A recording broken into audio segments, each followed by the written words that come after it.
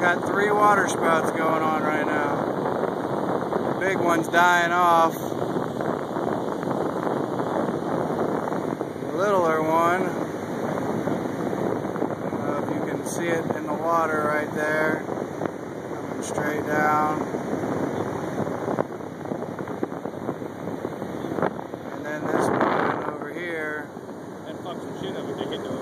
Way out in the middle of nowhere. Huh? Do we a chance of being balls?